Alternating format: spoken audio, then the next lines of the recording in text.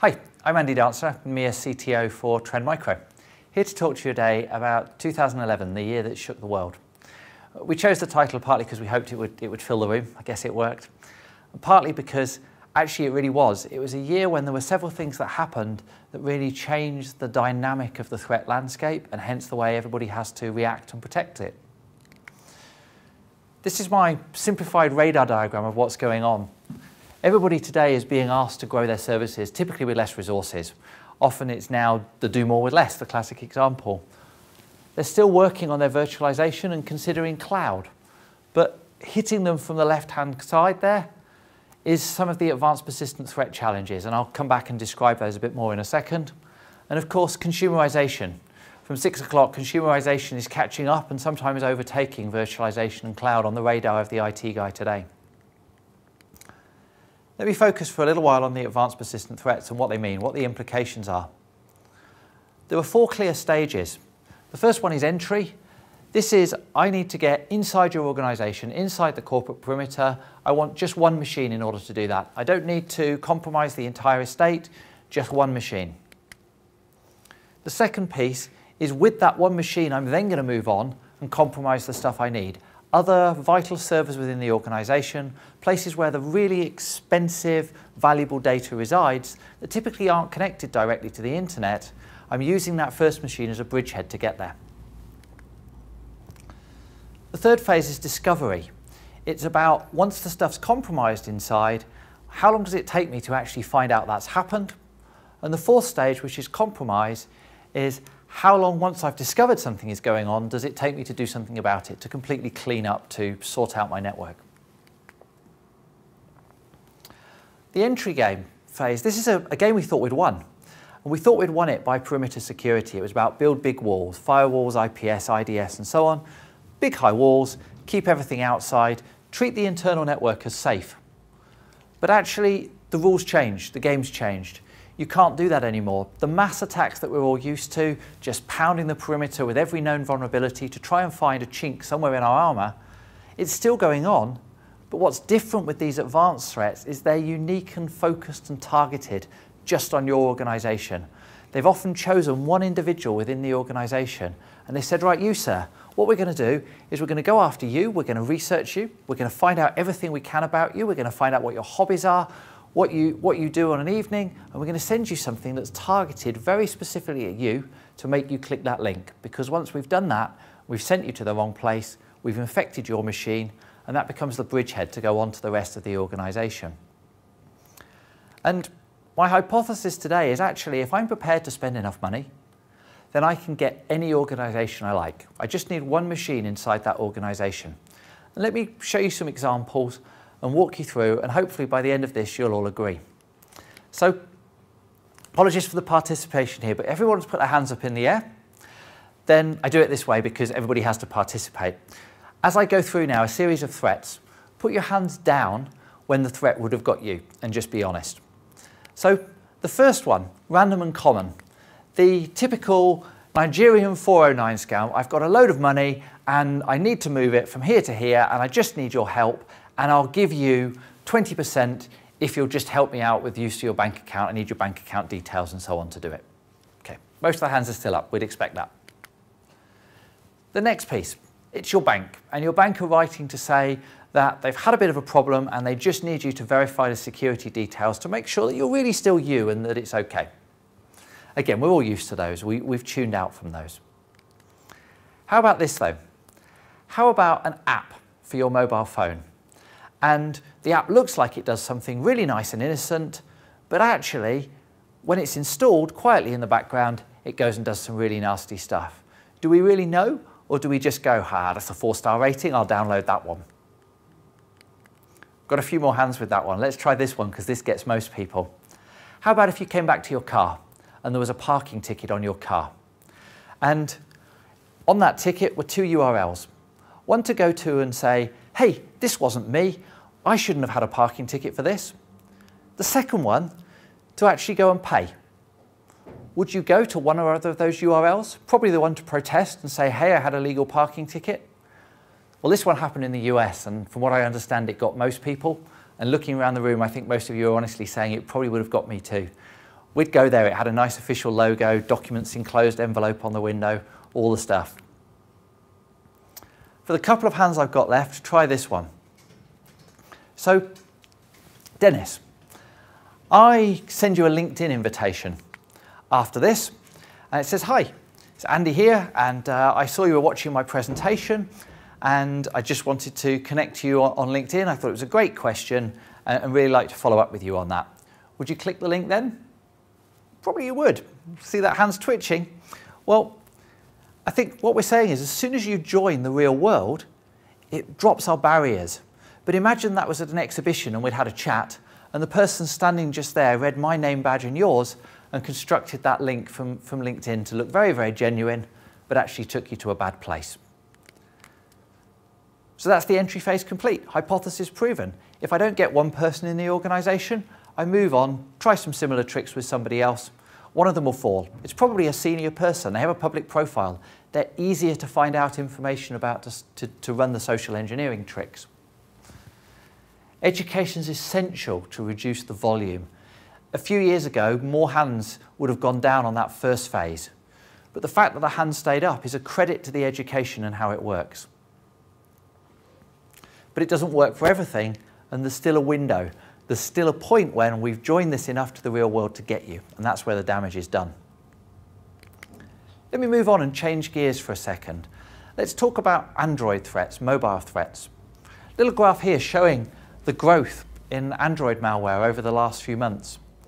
And you can see we've left the, uh, the scale off the axis here because there's not a great deal out there right now, but the growth curve is quite impressive. If I move on to the next slide, you'll see the projections here that by the end of 2012, we could be up to 100,000 different bits of malware. And quickly you get to a point where you don't want to be carrying a pattern file around on your Android device that's matching against 100,000 potential different bits of malware. We need, just in the way we did with the PC, to move to a new system. that uses a cloud-based reputation and you can look stuff up in real time and stay up to date. Change gears again. Talk about Stuxnet. Stuxnet was a real game changer.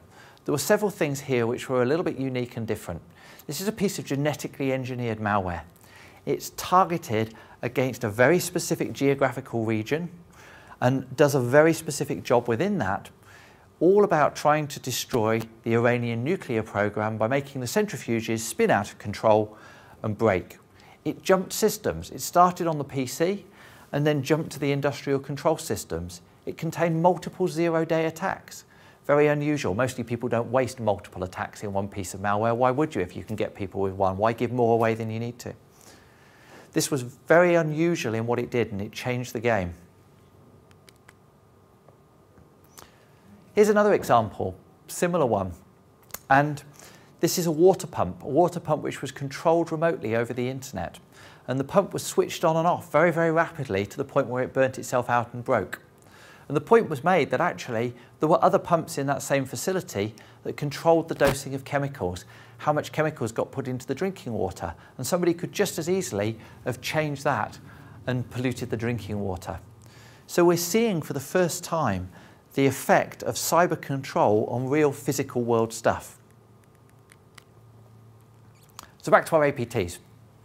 We've done the first phase, we have entry. Compromise says, let's start by assuming I own a PC, probably a senior person. The data's valuable, but that's just the start. What I want to do now is go on and get more valuable stuff from elsewhere within the organization. And to defend against that, we need a new security mantra. Out goes this feeling that there's so many attacks to stop, we just block at the network edge and treat the internal network as safe. Don't stop blocking at the network edge, that's great because everything you can keep out reduces noise, reduces the amount of stuff you have to watch for on the internal network. But don't treat the network as safe. Work on the principle, actually quite the opposite, that it's not safe, that machines have already been compromised, and figure out how to defend against that. So keep out what you can to reduce noise. That's a good thing. Don't trust internal machines. Assume that server next to yours is already compromised, it's trying to attack you and figure out how to defend.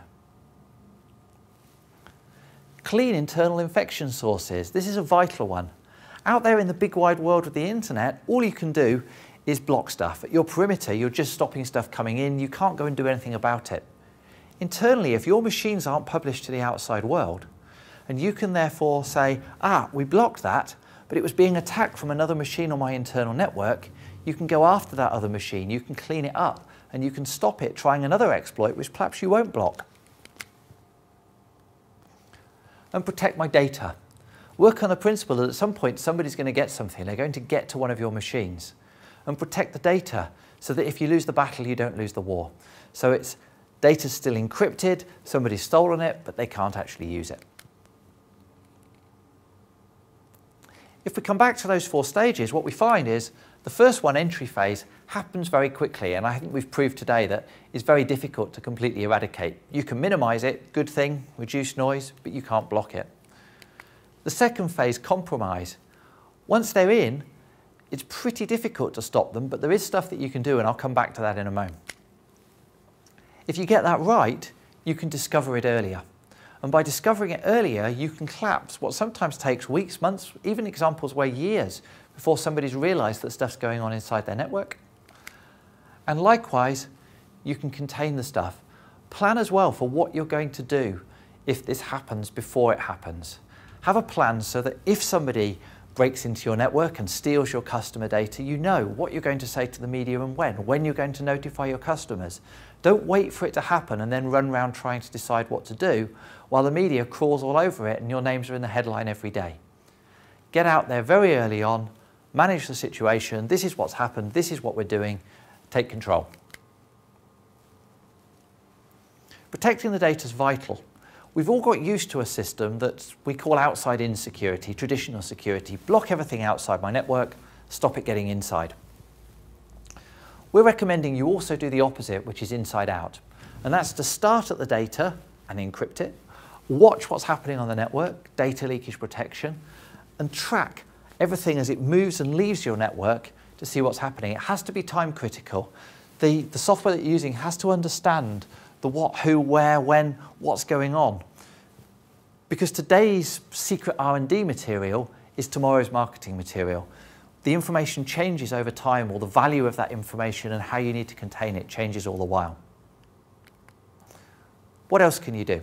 What does it look like? Well, here on the network diagram, we have a range of attacks trying to hit the perimeter on the outside. And we're blocking most of them, but something's managed to get through. We also have a couple of compromised endpoints and some more where our protection's intact and it's doing a great job. Those endpoints, the good stuff, the traffic that should be there, and the bad stuff that shouldn't is all flowing around my network. And I'm going to use some specialized threat detection to watch that network really carefully, to spot everything that's happening and analyze it as close to real time as I can. Then over here, I'm going to protect my valuable servers. And I'm going to take an inner perimeter around each of those servers to protect that server. So if something internally tries to attack it, it's defending just in the way that the edge of your organization usually would. Let me explain that in a little more detail. This inner perimeter is built up from a series of services, deep packet inspection, firewall, antivirus, log inspection, integrity monitoring. In a virtualized environment, it can do all this in what we call an agentless fashion. A single security virtual machine protecting via the hypervisor for all of the guests that sit on there. That can be incredibly efficient. You can increase the density of machines that you put on the hypervisor to get a better return on investment while increasing the protection that you deliver. This software is becoming mature now. We're at version 8. And this piece in particular, the deep packet inspection, allows you to do something we call virtual patching. In the UK this year, we have the Olympics and we have the Olympic change freeze. Many organisations, we've spoken to several today, are looking at blocking patching on their systems as they freeze them over a period of several months while the Olympics happening. And yet, that's probably the period when those systems may well come under more attack than they've ever seen before, when somebody's looking to get, in their world, that scoop of managing to take down some infrastructure during the Olympics and the publicity that might generate. This provides the ability to virtually patch systems and keep the protection current and up to date without needing to modify the operating system. So you know the servers are going to keep running, but they're protected. The next piece on there over here, specialized threat detection and the analysis and trackback. This is a product we have called Deep Discovery. This is about saying, okay, let's watch really, really carefully what's happening on the network. Let's weed out firstly anything that we know is okay and anything that we know is bad. And that gives us a grey area in the middle. By hooking this up to our cloud-based reputation system, we can get lots of the bad stuff definitively. We know it's there, straight away we can block. But the stuff that we don't know about, we can analyze, we can simulate it, we can put it in a sandbox, allow it to run, watch what it does, and say, ah, this was bad, this machine tried to attack this machine here, this is what it did. You can go and clean that up and do something about it. Vitally, rather than yet another management console, you can take an integration with your existing SIEM system. You can pull the information in, put it all in one place, and have some new screens which really break that information down and get it into a usable format so that you can take that and get actionable intelligence rather than just noise. Finally, I wanted to come back to, to the mobile side and talk very briefly about mobile app reputation. This is the ability to look at an app and to watch what it does, to say, is this sending premium text messages that it shouldn't? Is it crawling all over and reading your text messages when it's got no right to be there? Is it harvesting contacts from your address book? Is it actually just written really badly and it's draining your battery life and, and is not a great app, not one that you want to install? The ability to do this so that the app stores can take this and they can know that the stuff that they're putting into the stores is safe and the users that download them are going to get good apps and that enhances the reputation of the App Store and so on. This is primarily targeted on the Android marketplace today because there were multiple app stores, which makes it a bit of a wild west, less controlled. Although I'm sure in time we'll see this extend this sort of technology across other platforms. So that's it for today. Thank you very much. And with that, I'll open it over for questions.